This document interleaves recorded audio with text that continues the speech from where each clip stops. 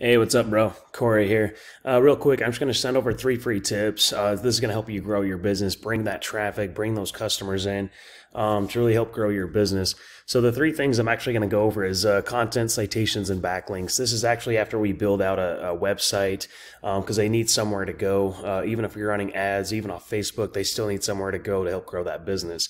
So, after we build that quick uh, website, we've got to make it look all professional, uh, click to call actions, all that stuff. Um, but the third, first thing I'm actually going to go over is content. Google loves content. Uh, the more words that you have, it just makes things a lot easier to rank to get on that first page of Google to, to actually uh, bring in those customers. So really being at about 1500, maybe 2000 words of content, being really authoric in what you do and how you do it, plus having that much content on your pages, uh, it's easier to layer in those keywords. Those keywords are how people are actually searching for you and how you're actually being found.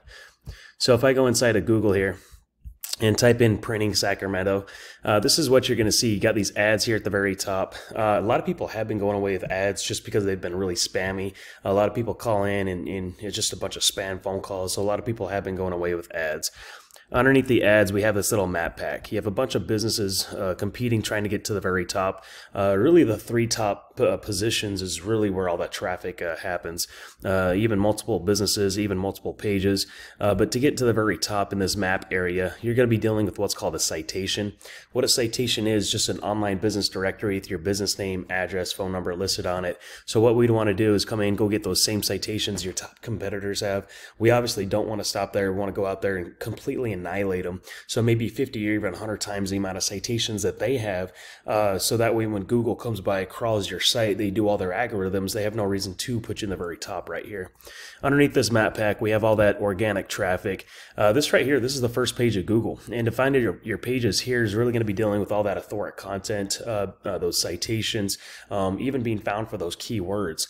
Uh, but to what comes down to what's called a backlink. What a backlink is, it's a link from a website linking back to your website that's ultimately driving power, driving a, a, a power to get on that first page of Google to bring in those customers. So if I take a, uh, this is a MM Printing, I was just going to use one of your competitors here, stick inside of Ahrefs to do an overview. Ahrefs is a tool lets me see what happens behind the scenes of a site.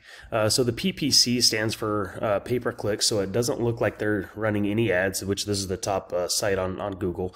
93 referring domains, pushing back 752 backlinks. Looks like historically they've had over 4 uh, 4,000 backlinks there. 402 uh, keywords they're being found for, and they're getting about 320 clicks to their website every month coming in and seeing where uh, uh, what kind of keywords they're ranking for. This is what people are searching for. Uh, so like printing Sacramento CA, right? People are looking to get shirts printed, some embroidery, whatever the case may be. Uh, 60 clicks on average every month. Their second position, bringing in about nine clicks there. Uh, Sacramento Printing Services, another 40 clicks. Uh, second position, they're bringing in five clicks out of the 40. Sacramento Print Shops, 40 clicks, fourth position, bringing in a few more customers.